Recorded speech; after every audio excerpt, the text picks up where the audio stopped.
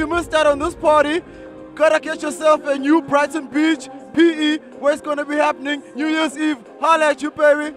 New Brighton Beach, New Year! So uh, we have coming up the second highlight of the tour, which is the New Year's Eve in Port Elizabeth.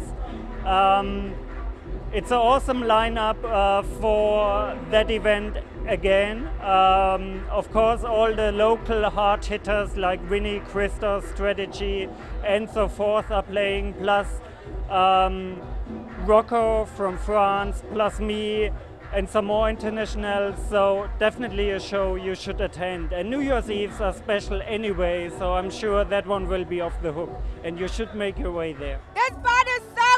Is so great. You should get to New Brighton Beach for New Year's in PE. New Year's Eve on Brighton Beach is going to be just awesome.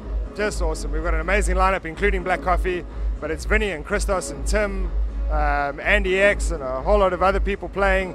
Awesome venue on the coast, uh, all night long. I think it's going to be massive, and I'm looking forward to being back in the Eastern Cape. See you there. Guys, this party is so amazing. You need to get to New Brighton Beach in PE for New Year's.